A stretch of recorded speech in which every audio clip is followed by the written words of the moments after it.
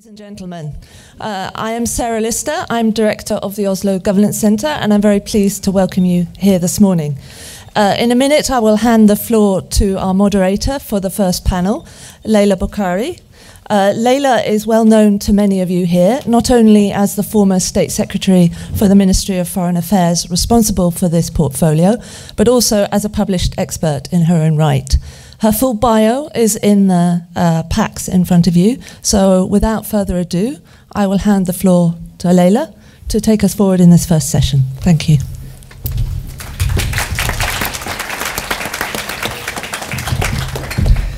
Thank you very much, Sarah, and a very good morning to all of you. Um, Ministers, Excellencies, ladies and gentlemen, um, wonderful to be here this morning and good to see so many people who, who've actually been in the field for a while um, and new faces, because we need new actors and stakeholders in this as well.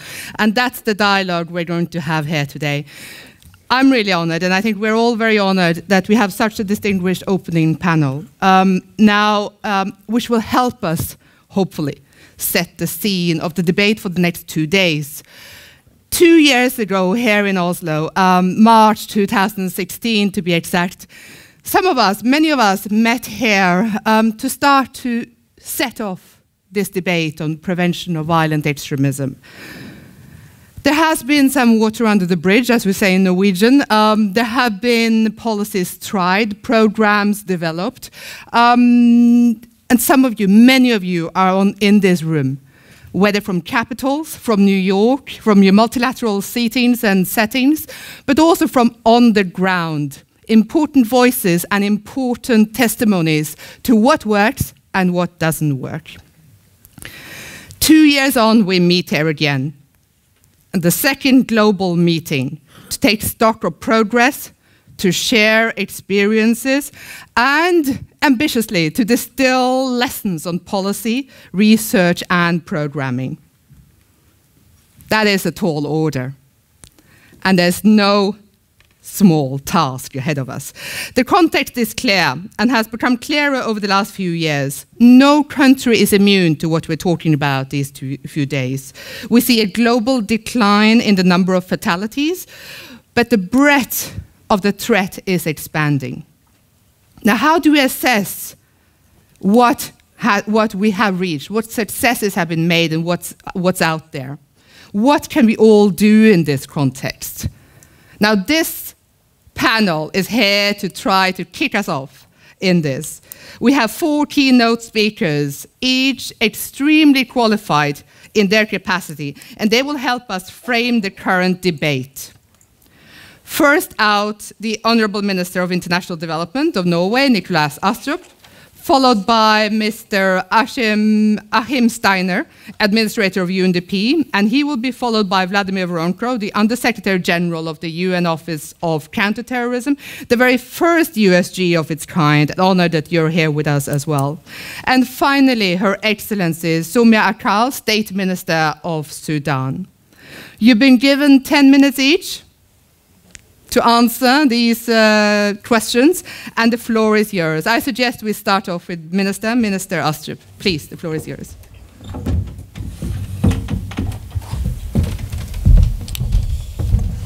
Thank you, uh, Laila. Your watch. I am uh, delighted to welcome you all to Oslo to the second global meeting on preventing violent extremism. I would like to give a special welcome to Mr. Achim Steiner, the administrator of the United Nations Development Programme, Mr. Vladimir Voronkov, uh, Under Secretary General of the UN Office of Counter-Terrorism, and uh, last but not least, Mr. Somia uh, Okoued, State Minister of International Cooperation of Sudan. Norway's Minister of Foreign Affairs, Ine Eriksen Søreide, sends her warmest uh, wishes for the conference. She very much regrets not being able to attend due to commitments in Brussels. Let me start by thanking the UNDP Oslo Governance Center for putting together such a comprehensive agenda. The Norwegian government is deeply committed to the prevention of violent extremism. We have expressed our strong support for the UN Office of Counterterrorism since its, its establishment last year. I am therefore pleased to announce that Norway will contribute 10 million Norwegian kroners to the UN Office of Counterterrorism for the, um, for the 2018-2021 period in partnership with UNDP. In our view, the UN must play a central role in the international efforts to prevent violent extremism. This is a long term effort that will require a lot of resources. We need to take a whole of government approach. We therefore believe it will be essential that the UN family work closely together and is well coordinated and consistent in its work. Let me highlight what the Norwegian government considers to be four key points. First, the importance of the rule of law. The rule of law at the national and international level is essential for sustainable peace and long term development. We need effective, accountable, and transparent institutions at all levels. SDG 16 underpins our work in this area. Poverty reduction, stability, and social cohesion are core principles. The rule of law and the prevention of violent extremism are mutually reinforcing. If we are to succeed in um, preventing violent extremism, we must also highlight the positive effects this will have and the values we stand for. We need to create positive narratives that people can relate to, comprehend, and be inspired by. UNDP has a central role in the UN's global development and governance work, which is underpinned by SDG 16. Norway believes that UNDP has a comparative, uh, comparative advantage when it comes to promoting democratic governance and supporting conflict prevention and state building in fragile contexts. Secondly, the interdependence of security and development. Security policy, foreign policy, and development policy complement one another. It can be argued that without security, there can be no development. And without development, there can be no security. And I think Somalia's uh, Minister of Finance said it quite well when he told me last time I spoke to him in DC a few weeks ago that Al Shabaab feeds on unemployment. And I think that underlines that point very well. It is therefore vital that we view development and security as a parts of a whole and that we work simultaneously and across all sectors to prevent violent extremism. However, it is sometimes difficult to strike the right balance between the need for development assistance and the need for security. Security measures can be both a necessity and a precondition for receiving development assistance. But we must also acknowledge that if these measures, measures are not applied in the context of the rule of law, they can also be counterproductive and at worst encourage violent extremism. Now, my third point is that the importance of integrating uh, the gender dimension into a comprehensive, whole of society approach. Women and girls must be included in a whole of society approach. Women constitute at least half of the population, and in conflict areas, the proportion is even higher. Leaving women out is therefore both unwise and unjust. We need everyone to participate in efforts to combat violent extremism and to use the experience and comparative advantage that their gender and age provide. Women and girls are often portrayed as victims, but this is not always the case. Women are often carers, but they may also be perpetrators of violence, and they can be powerful mediators and influential peacemakers. We need to take a multidisciplinary and multi level approach in order to prevent violent extremism. This bring me brings me to my fourth and last point cooperation. We are all affected by the negative impacts of violent extremism and the threats it poses. We believe that the UN development system has an important role to play in the prevention of violent extremism through its work to promote democratic governance, job creation, and education. Norway is delighted that the UNDP and the Office of Counterterrorism will be using this occasion to sign an MOU formalizing cooperation on preventing violent extremism and underlining the importance of a whole of UN approach. The UN should work with national, regional, and multilateral partners on specific interventions that are tailored to the needs of each country. Engagement with religious leaders is important, as is strengthening resilience, not least by focusing on young people and women. The 2030 Agenda, with its 17 Sustainable Development Goals that the world adopted in 2015, gives us a new approach to development. In order to meet the SDGs, all countries must take ownership of their challenges and use their resources to address them in the best possible way. Furthermore, the SDGs imply mutual cooperation and real partnership. We have a shared responsibility to tackle global security challenges such as violent extremism, and every country has a responsibility to contribute to sustainable development. Let me round off by stressing that Norway is committed to the UN Global Counterterrorism Strategy and the Plan of Action to, pre to prevent violent extremism.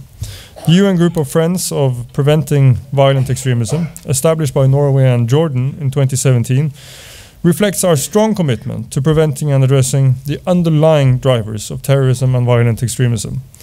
And I would like to thank you all for your support. We continue to push for the increased inclusion of civil society. At the domestic level, Norway's efforts to prevent violent extremism involve the whole government.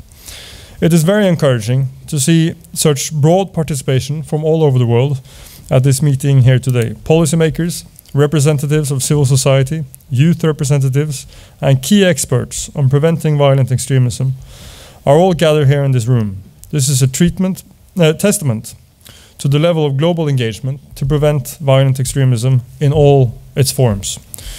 You are the experts, and we are here to take advice from you. I wish you a successful and fruitful conference. Thank you for your attention.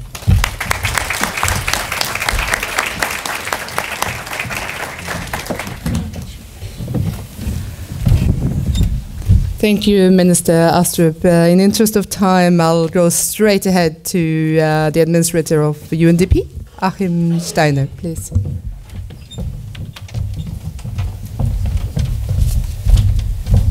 Thank you very much, Laila, Minister Astrup, State Minister Okoued, and my dear colleague Vladimir.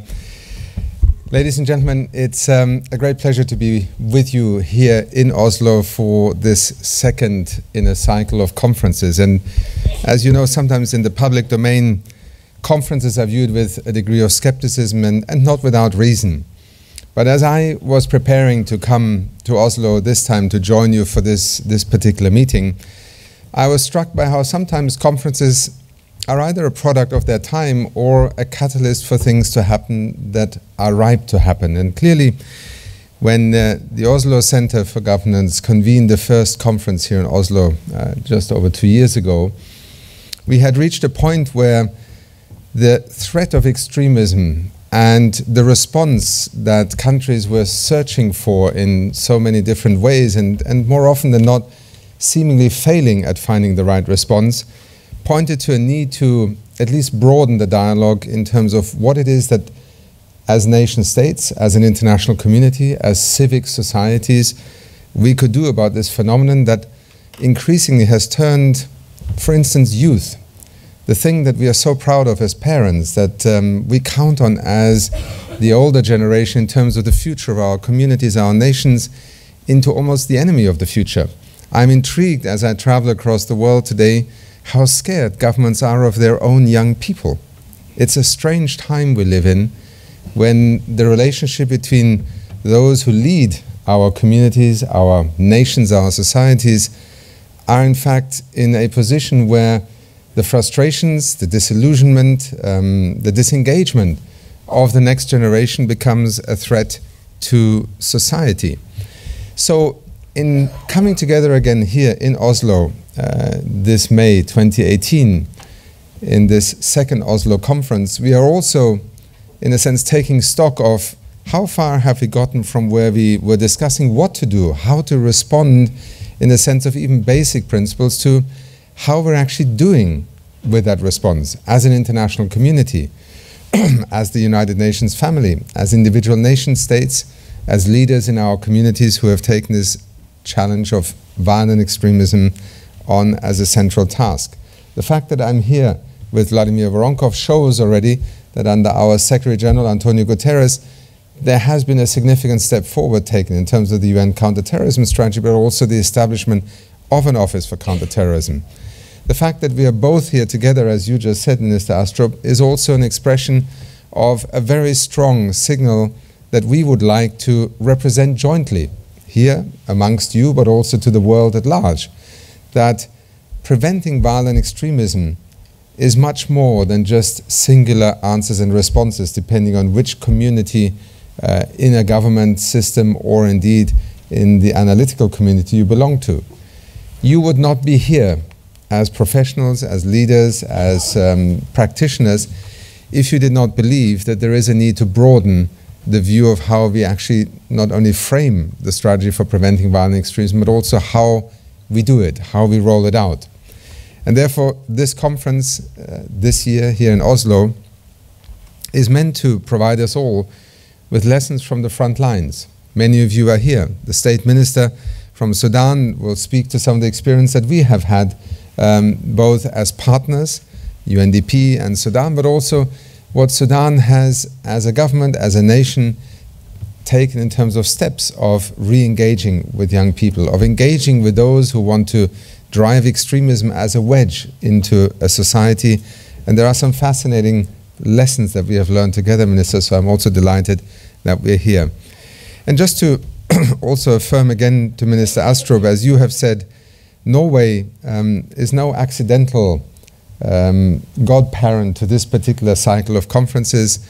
Um, you have been very much part of that voice that has argued from the beginning that in confronting violent extremism, terrorism, the, the threats to the fabric of our societies, we need to work not only in a security and, um, let's say, defense reflex, we must go back to actually asking some fundamental questions of engagement.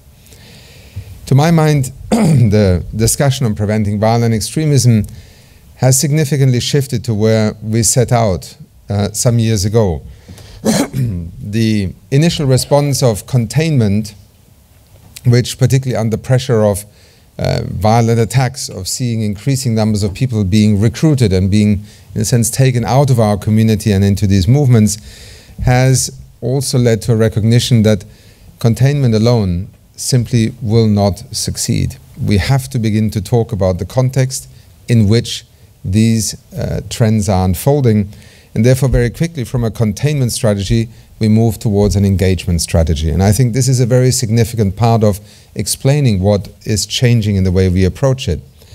We also clearly have come a long way from uh, being focused on the symptoms, whether it is the names that these groups give themselves, the faces that we associate with them, the links that we create to religious faith or ethnic uh, identities that you know at the end of the day are simply vehicles that are being used are being manipulated in order for a certain political view of the world to be propagated. Let us also be clear we sometimes struggle with the definition of a terrorist. In the united nations to this day we cannot exactly agree how to define a terrorist.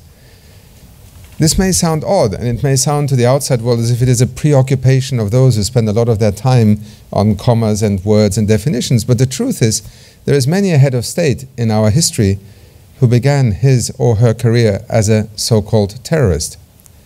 And it does beg the question when does terrorism become a legitimate form of resistance? When does an absolution occur between a battle that is fought and the legitimacy conferred upon a leader of a movement who now happens to be head of state or government.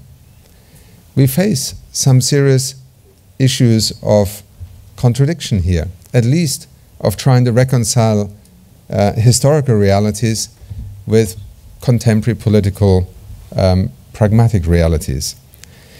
In the work that we particularly in the United Nations Development Program, do, I have been intrigued in the uh, nine, ten months that I'm now uh, in my position in New York to discover within UNDP a very significant portfolio, first of all, of projects and programs that are specifically called Preventing Violent Extremism, PVE projects. And well beyond that, a significant portfolio of activities that we would consider to be integral to the notion that you, Minister, alluded to just now very often the context within which extremism grows is to some extent, not in a singular sense, but in a very prevalent sense, linked to failures in development. Whether in the integrity and the credibility and the legitimacy of the institutions that represent the nation state. And I'm sure my colleague uh, Vladimir in a moment will speak to that also. Very often it is the desperation of disengagement and frustration that leads people to abandon the notion of their nation state or the institutions that represent it because they have not delivered. It is also a phenomenon of marginalization and exclusion, whether on racial grounds, on religious grounds, or simply in terms of the geography of development. How often have development economists conducted development investment reviews in the same way that a company undertakes a cost benefit analysis? We should not be surprised if the highest rate of return on investment from a capital investment point of view yields a very different perspective on where we invest in our nation than if we look at where are the people who are most left behind, who are excluded, who by definition in the context of the development process of the last 10, 20, 30, 50 years have found themselves on the outside of that society. How often do I encounter leaders today in crisis and fragile nations who express extreme frustration about their inability to reconnect government to their people against the backdrop of a collapsed state or an insecure situation? whether it is in Iraq or in Somalia, the example that you cited, Minister, time and again, we struggle with the instruments that we bring as an international community to the front lines of this so called battle against extremism. And we have to admit, we have significant failures in the way that we deploy ourselves, in the way that we utilize significant financial resources of the international community, and yet lack sometimes either the ability, the imagination, the license, the authority, the creativity. All of these are part of the problem in going beyond the solutions that we have, in a sense, become used to bringing to this frontline battle. I don't have much time this morning, so I wanted to just briefly sketch out the directional perspective with which I personally, but also we in UNDP, based on our work, and also informed by the first Oslo conference and hopefully by this conference, intend to move forward. The memorandum of understanding that we are signing this morning between the Office of Counterterrorism and the United Nations Development Programme is more than just a piece of paper. It marks a new era in the United Nations where a UN counterterrorism strategy meets Agenda 2030 and the SDGs. And to some, this is not always a comfortable narrative. I must say personally, as a development economist who is certainly in terms of his history more on the spectrum of pacifism than active engagement in military or other security agendas, I have to say to you, I feel extremely comfortable with this partnership because it is the truth, both in terms of the analytical lessons we have learned, that whatever you try and do in this world, if you believe that you can prevent violent extremism by deploying a military and security response exclusively, you are more likely to fail than to succeed. We have bitter lessons that we have learned in this process. And that development in itself also is no panacea.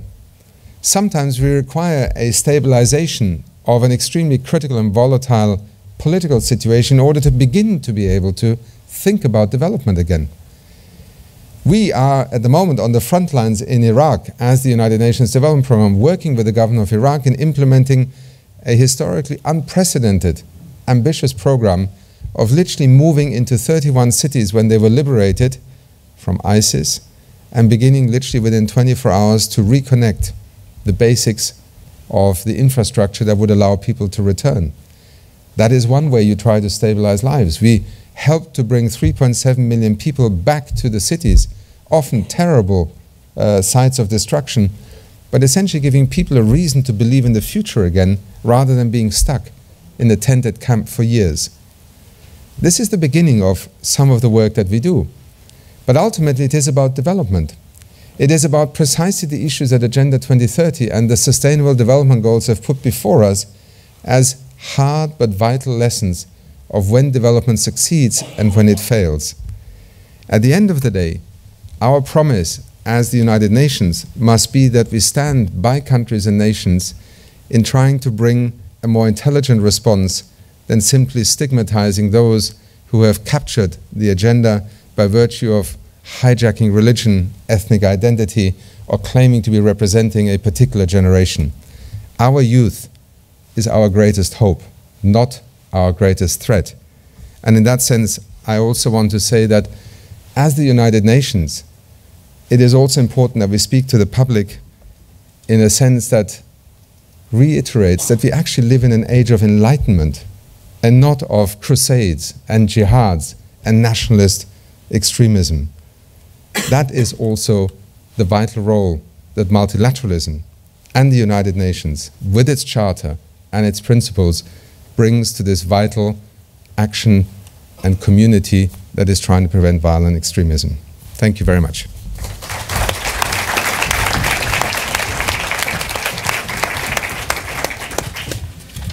Thank you, Mr. Steiner. Thank you also for ending on that hopeful note, and let's keep it uh, to that as well. Um, next out is USG Voronkov, please.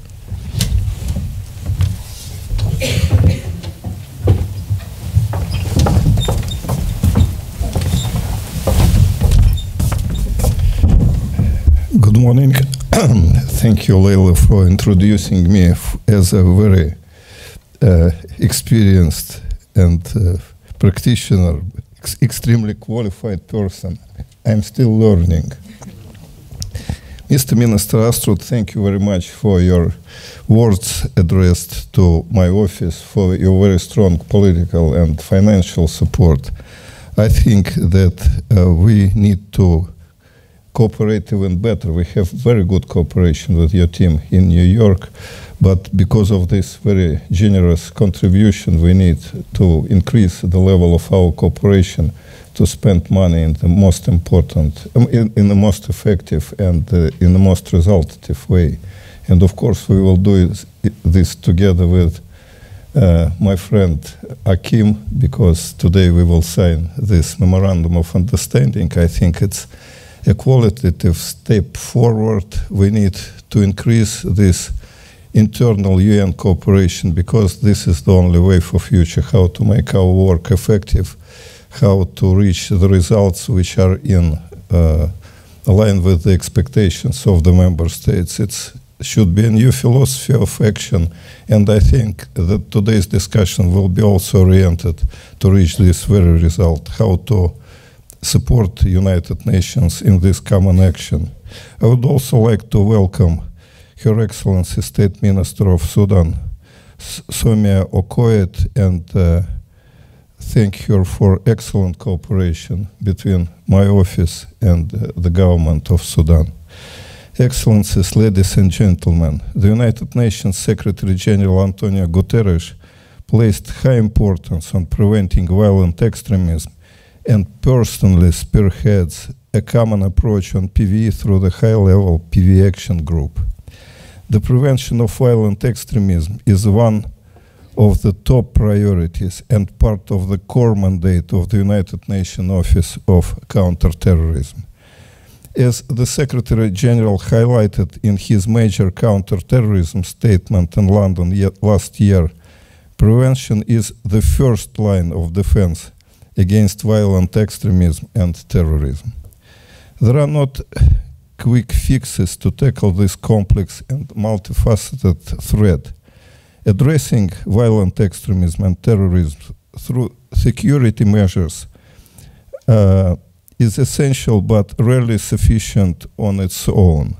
We need to focus our efforts on coordinations, on, on conditions that are conducive to young men and women being lured by violent extremism and terrorism. Excellencies, ladies and gentlemen, the United Nations is stepping up its efforts to prevent violent extremism.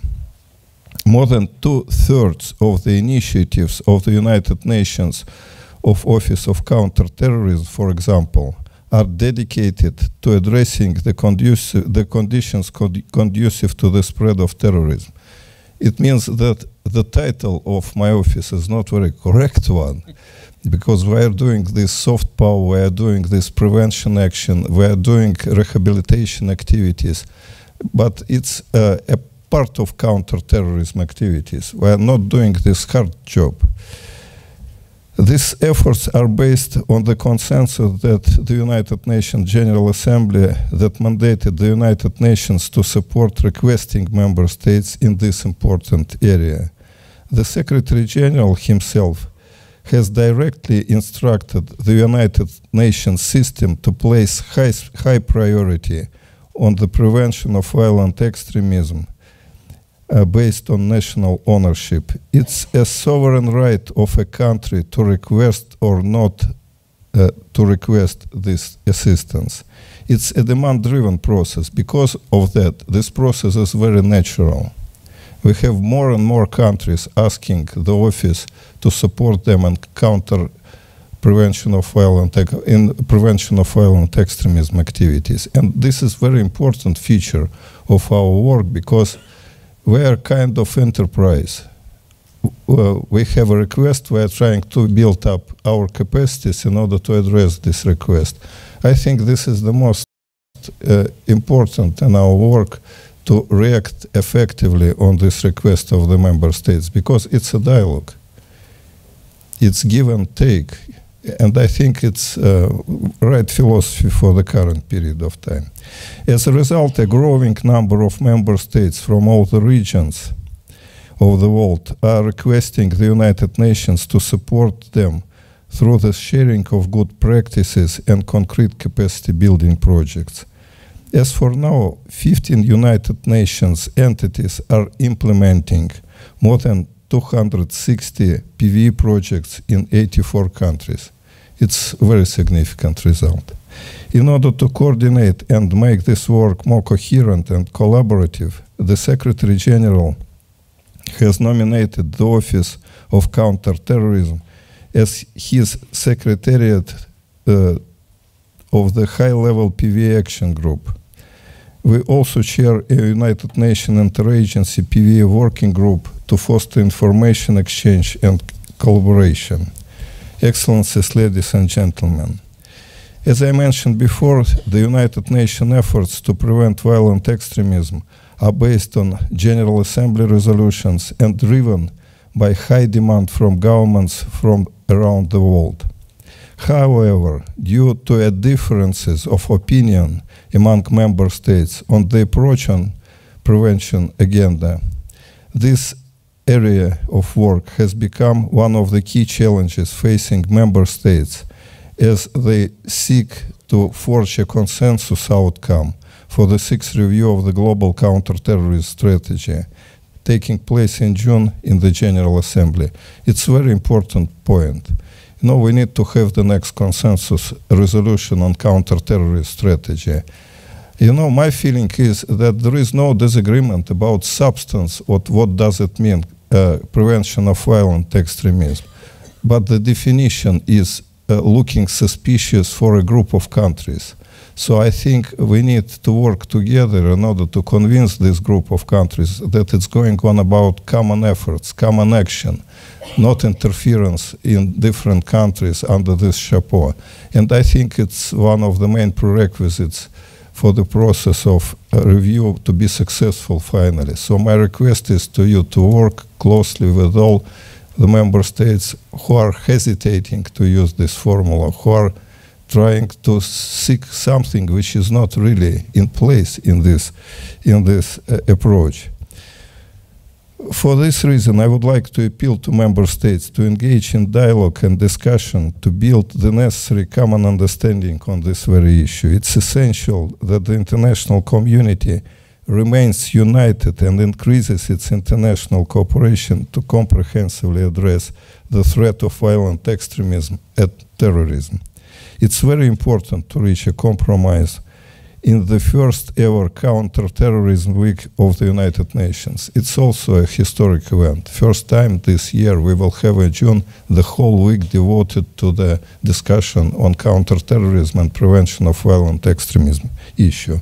Excellencies, ladies and gentlemen, in order to foster a more practical approach to preventing and countering terrorism, the Secretary General is holding a high-level conference of heads of counterterrorism agencies of member states immediately after the sixth review of the global counterterrorism strategy. The conference aims to exchange good practices and lessons learned and build a new partnership to increase international counterterrorism cooperation. One of the four sessions of the conference will focus on strengthening global action to prevent violent extremism including by engaging youth and preventing misuse of new technologies by internet by terrorists. It will be a key session bringing together both practitioners and representatives of civil society. In my feeling, the second day of the conference will be the most important one because it will be a direct discussion between practitioners and representatives of uh, civil society. And I think it will create a new climate in this cooperation because still we need to do more in our cooperation with the civil society. We need to draw our uh, experiences from their experience. We need to work closely every day because it's going on about common efforts. It's not uh, only governments who, who are responsible for this very task, but it's the whole society should work against counter-terrorism nar- uh, terrorist narratives, against uh, attempts to, uh, to, to, to, to, to hire people for different kinds of criminal activities. So civil society has an important role to play in regard to our joint efforts to counter terrorism and prevent violent extremism. We are doing our best to ensure adequate participation of civil society representatives from all regions of the world in the conference. I think balanced representation is also very important. We need to have people working as the representatives of civil society from all the globe because we need to have the whole picture of these activities. The conference will uh, thus serve to promote an inclusive approach to preventing violent extremism. As recommended by the Global Counterterrorism Strategy, the Security Council Resolution 1624 2005 against incitement to terrorism and 2178 2014 against foreign terrorist fighters. This session and the session on strengthening the role of and capacity of the United Nations to support member states to implement the United Nations Global Counterterrorism Strategy will be open to the participation of the civil society organizations. So the whole second day of the conference will be an open exercise, including the final statement of the Secretary General. The Secretary General believes uh, that we need to look at creative and dynamic ways of partnering with youth. We need to support them with more employment opportunities, relevant educations and skills development. This is uh, one of the most important ways for the international community to prevent violent extremism. Excellencies, ladies and gentlemen, the Secretary General has asked the Office of Counterterrorism to further improve UN coordination and coherence in its prevention of violent extremism and counterterrorism efforts and has signed a new UN system-wide global counterterrorism coordination compact with 36 UN entities, Interpol, and the World Customs Organization. You know, my first surprise when I arrived to this new position in New York was that 38 entities are doing counterterrorism and prevention of violent extremism. This is a unique case for the United Nations. But still, we should do more. And because to do more, we need to work in a more coherent and coordinated manner. And Compact is designed for this very issue. The Global Counterterrorism Coordination Compact provides clear terms of reference for engagement between compact entities and will ultimately enable us to better serve our member states. The compact will help us support the implementation of the United Nations Global Counterterrorism Strategy, involve United Nations country teams in counterterrorism and PVE activities through a country-by-country approach, help share relevant capacity building and coordination and coherence related information with member states uh, with members of the compact, develop mutually reinforcing counterterrorism and PVE capacity building projects, and establish a joint resource mobilization and outreach strategy with donors. The last is very important. To raise money together and to spend money together and to control how we spend this money because evaluation is not the very strong point of our activities. And we need to learn more from the experiences of the member states how to assess our work with different methodologies. And uh, I ask, I request member states to help us in brushing up of these approaches. Based on this compact, a number of UN entities are intensifying the, their collaboration. For example, over the past month, we have managed to significantly improve our cooperation with United Nations Counterterrorism Committee Executive Directorate, or CTED. Thanks to the adoption in December last year of, of the Security Council Resolution 2395, we have also started to build up our capacity in the field using as a basis CTED uh, expertise. It's very important. CTED has all the necessary instruments to evaluate the implementation of different Security Council resolutions. They are providing us with expertise. On the base of this expertise, we are ready to build up our capacities in different countries to support member states and their prevention of violent extremism and counterterrorism activities. We are also bringing together UN entities through different partnership framework. For example, UNOCT is signing its first its first memorandum of understanding with UNDP today, and I'm very grateful to Achim for very strong support from the very beginning of this idea to have a memorandum of, of understanding, because it's again a certain logic. We have no field presence, but uh, for our office to understand what's going in real terms in the field is very important, and this is the tool. We could share our expertise together, trying to work in a very coordinated manner in different parts of the world. And I, I am absolutely sure that the signing of this memorandum improve our work significantly. Excellencies, ladies and gentlemen, at the beginning of the year, we have launched a global UNOCT PVE policy program that supports requesting member states and regional organizations in developing their PVE policies and national and regional plans based on their request and on national ownership. Through this program, we are combining UNOCT's policy expertise with the sustained presence of UNDP on the ground to utilize synergies and maximize our impact. I want to express my sincere gratitude to the governments of Norway and the Republic of Korea for their generous support and financial contributions to the success of this new program.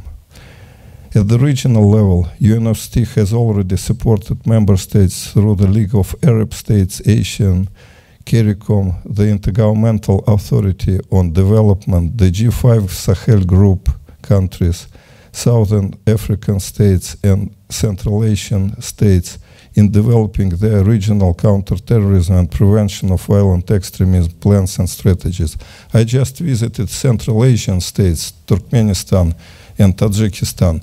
And I can tell you that they are eager to have more support and assistance from uh, the United Nations.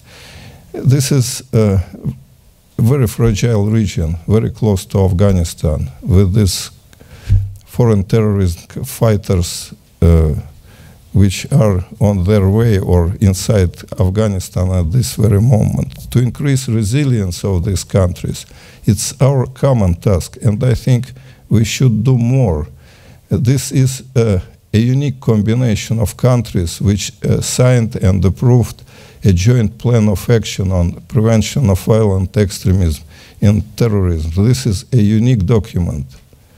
This is the only region which managed to agree on this kind of document. We are all working, for example, with G5 Sahel, but still not uh, reaching this agreement from all the countries. So I think we need to promote more this kind of positive experience to different parts of the world because it's important. It creates a legal framework for counterterrorism and prevention of violent extremism activities. And I think civil society should contribute more to these activities, to support the governments, to advise the governments to be more active in this regard. This is a very practical and pragmatic task, and we need also to have this understanding that this is the right way forward. At the national level, we're uh, supporting special representative of the United Nations Secretary General and United Nations country teams with expertise and provide coordinated all of UN support to requesting member states in Tunisia, Jordan, Sudan, Indonesia, Somalia, Mali, and Mauritania. Excellencies, ladies and gentlemen, I look forward to our discussions and the exchange of good practices and lessons learned during uh, this important conference. I believe that events like this will help us to engage on the political, practical dimension of our work and ultimately improve our support to member states in better preventing violent extremism around the world. Thank you very much for your attention.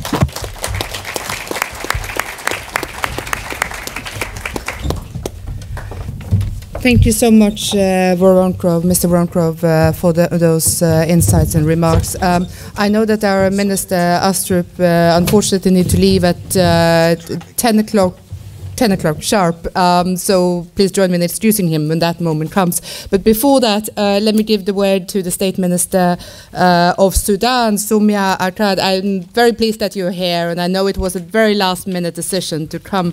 So thank you to your, to your Prime Minister as well for letting you leave your country for a few days and joining us here. Thank you.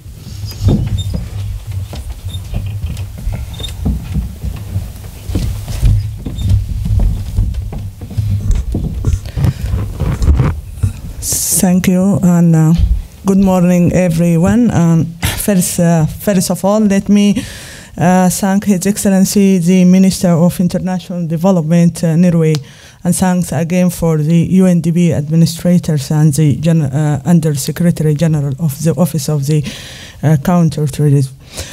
Uh, coming back, uh, my talk will be a little bit different from those uh, what is mentioned because uh, what I'm going to give my speech is around the way how we can do it at the national levels. What is uh, what is our experience, and it's not an easy coming from a country that had been described as one of the countries that uh, supporting uh, those issues. Definitely, we as uh, Sudan uh, peoples and, and, and, Sudan government, we, we really highly appreciate all the efforts that uh, uh, done with us from the international uh, community, but specifically what is uh, uh, given to us as a support, support from the UNDP. So definitely this is an, an issue that is affecting everyone all over the globe and no doubt it's it's not exceptional so for for for for for us or for uh, any single country to be protected against that.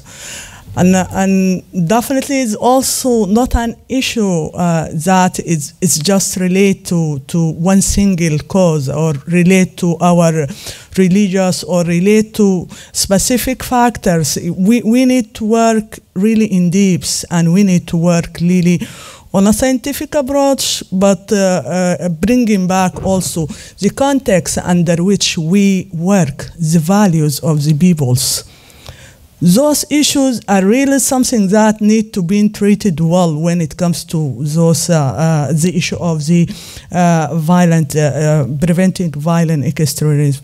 I'm going to show what Sudan do and and how we can see ourselves.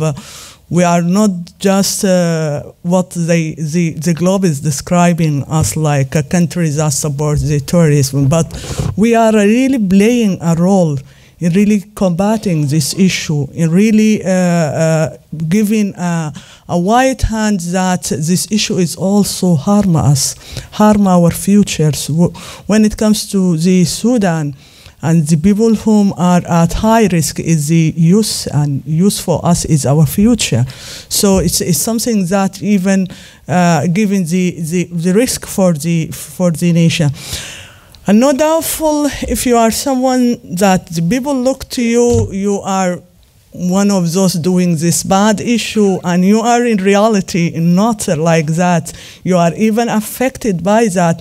It's need from your side to come up with something that It's really show your commitment. You are against this, but you are work in your perspective. You are work under your uh, uh, uh, context, uh, under your value. So for Sudan experience, no doubtfuls, as our geographical location is, is very important for this issue and bringing these combinations between the west, the west and east Africa, but also bringing these combinations from uh, Africa to uh, Arab states and being a part of the Middle East, uh, which will seem like this issue is an important issue for us.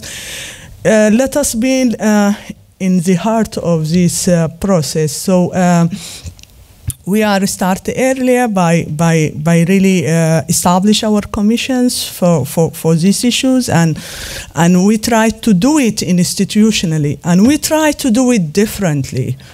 Really engaging all the peoples talk with all the communities uh, seeing how we're going to go on that. This is our our our first inspiration issue and we're going to also do it in, uh, in a scientific way. For that, we seen, we are proud about what, what we do, both uh, government of Sudan and UNDP, in doing this study. And those such type of study to be done in a country like our situation is going from the sensitivity to a real uh, talking about the issue. So bringing back the evidence base uh, regarding the issue of uh, violent extremism is being one of our uh, basic agenda.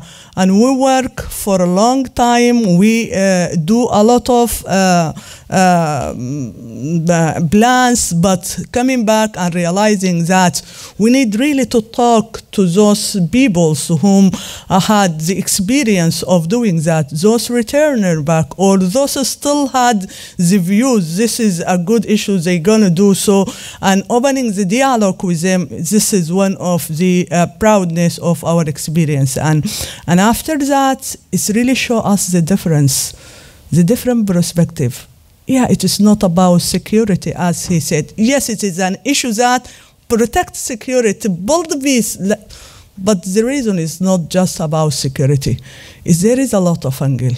The social coherence, the issue of the marginalization, the issue of uh, uh, development, the issue of uh, what youth will do if they are grows in a, a country that uh, or in a context that they cannot have their future's dream. So they're gonna have change in their uh, perspectives. So they're gonna navigate to see something and, and this is something that need a lot of work collectively from the globe to address those issues so uh, for us doing this uh, study show us the right way to navigate.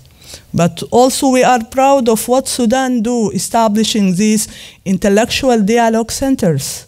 And in these intellectual dialogue centers the religious leader come and debate those youth come and debate those youth around this is not Islam.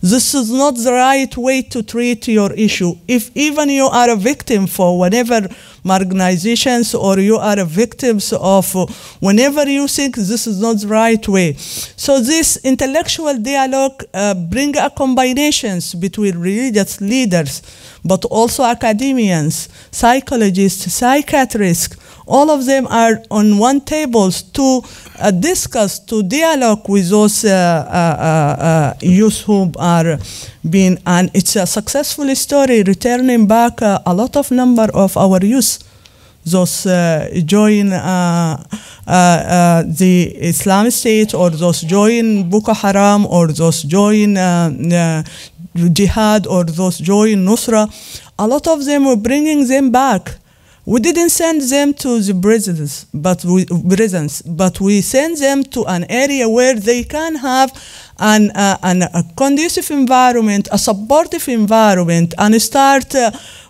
step by step do the dialogue with them till uh, a lot of them had been reintegrated to the community and we've been watching them over the times and they really integrate. But we face uh, other challenges that when we integrate them back then the community looks uh, to them in a, in a social stigma way and this is also need to be needed and need to be treated. Those for, for, for, for, for, for youth whom had um, the perspective uh, uh, that is uh, around their ideas or but a lot of uh, others are going to this issue regarding social coherence or development angles or they didn't have their opportunities. And those are the issues that the globe can come together to avail for, for, for them a little bit more uh, uh, conducive environment that they cannot think about uh, joining these terrorist uh, uh, groups and I like the combination between the development and security because this is the real what we need right now in doing this detailed analysis and in really addressing the root cause of the uh, of the issue. And then when we're going to design our our programs, definitely we need to uh, appreciate the unique status of every different countries no one can come and, and, and, and being more oriented uh, more than me about Sudan. Whenever data you had in your uh, profiles or in your literature, but you are not familiar with the very sensitive issue that the community will respect those issues and will work with you in a collective manner. So this is an issue that need from the UN family, from the Security Council to realize on the ability of the national themselves to lead the process because leading the process by those are really know how to navigate about the issue is a better uh, uh, better way to, to think it. So what we do in collaboration with UNDP we start uh, work in our national strategy, a Sudan national strategy for preventing and combating the uh, violent extremism. And we start a huge dialogue among the youth, using the youth unions as the mediators and go and sit with them, dialogue with them, using the women unions, all the affected families. The good news, we not encourage but motivate those mothers for those youth who've been affected by that. It's been a part of our network to work on that. And it is tough when mothers come and describe to people what the harmness that happened for her child, what harmness happened for her family, what harmness happened for her neighborhood. All those issues are very important when it comes to a, a socially connected uh, uh, uh, community like uh, us in, in Africa or in, in Arab League uh, uh, countries. So you need to, to really address a difference.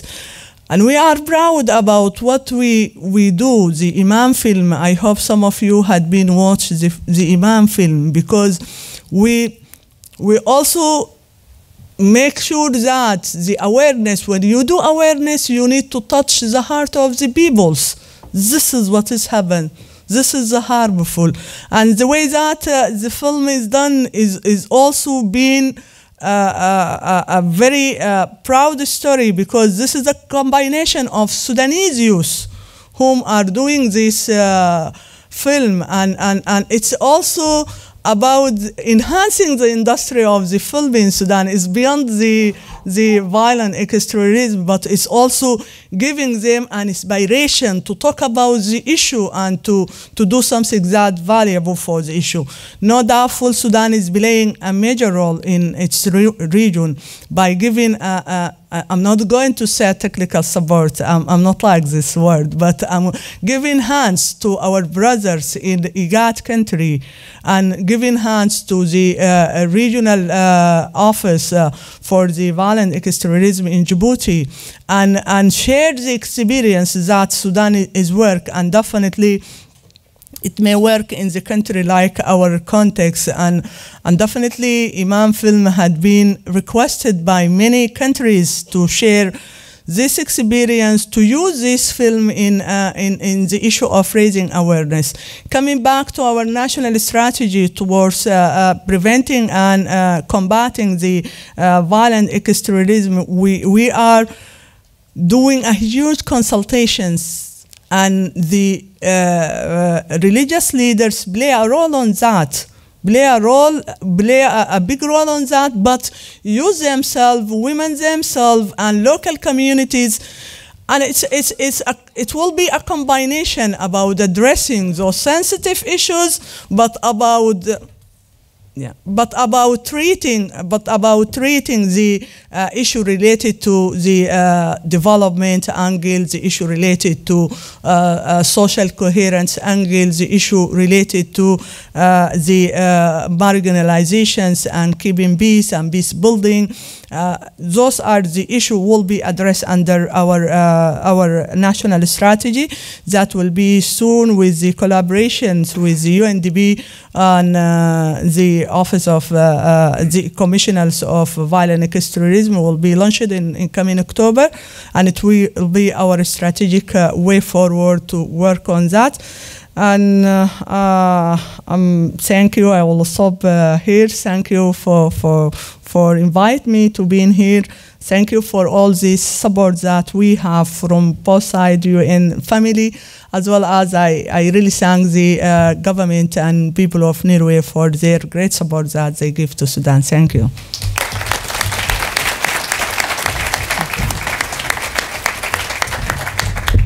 Thank you, Your Excellency, State Minister. Sorry for having to cut you short there. We are running a bit late on time. Um, now, uh, finally, uh, someone who could not make it here is maybe one of our greatest voices in this work, a representative of the greatest voices.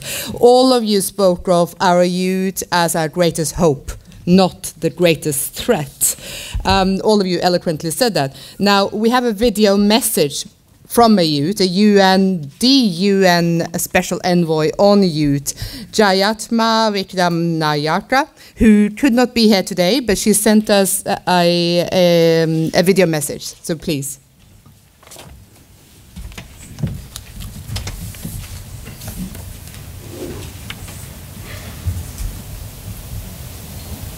Excellencies, ladies and gentlemen, distinguished guests, and fellow young people. My name is Jayathma Wickramanayake and I am the United Nations Secretary General's Envoy on Youth. It is my pleasure to send this video message to this important gathering. I thank UNDP and the Norwegian Ministry of Foreign Affairs for convening this meeting and organizing a session that is entirely dedicated to the positive role young people play in addressing and preventing violent extremism. Even though it is reported that more young people are joining violent extremist groups than any other age demographic, evidence shows that most of young people neither fall prey to the tactics of terrorists nor are interested in violence. In so many countries and territories, young people's resilience are already transforming communities. There are countless youth movements and organizations out there that contribute to waging peace, fighting injustice, and driving social progress and development. Allow me to congratulate UNDP for their excellent research initiative, Frontlines. The findings of this research demonstrate that we should not downplay the role young women and men play as preventers of violent extremism. On the contrary, we should all do better to question our assumptions and identify, promote, and scale up youth led initiatives. I hope that your recommendations will inform more youth inclusive and effective programming. I'm glad that you will hear about concrete examples of the impressive work done in the field by young peace builders who deserve all our attention, respect, and support. As highlighted in the recently released Progress Study on Youth Peace and Security, Investing in young people's agency is probably the best way to move from remedial measures to preventive approaches.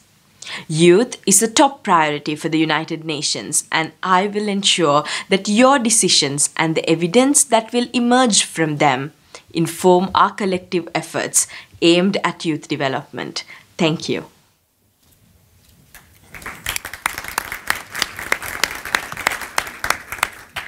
So we've heard from uh, five individuals, UN officials, state ministers, a youth representative. Now in this room, I know there are tremendous expertise and testimonies and there will be ample chance to get into discussions over the next few days. Um, I know that all of this, and I would like to thank especially State Minister for really bringing us to the ground, for bringing some of the challenges, for bringing to the table some of the challenges that, that many of us are facing and many of you on the ground are facing. Um, we need to end this session now in interest of time. Um, and what we will do now is there will be a couple of videos uh, shown here. And at the same time, um, in the name of collaboration and cooperation, a memorandum of understanding will be signed uh, in another room. So I ask those who have been invited to the ceremony to, to follow um, the UNDP and and uh, and the UN Office of Counterterrorism, um, and the rest of us to stay behind and watch the video. There'll be a break afterwards, and then we'll really get into the nitty gritty of all of this. Um, thank you for your patience. Thank you for. Um, keeping those questions to the later sessions. Thank you to all the panelists and uh, good luck with the next few days. Thank you.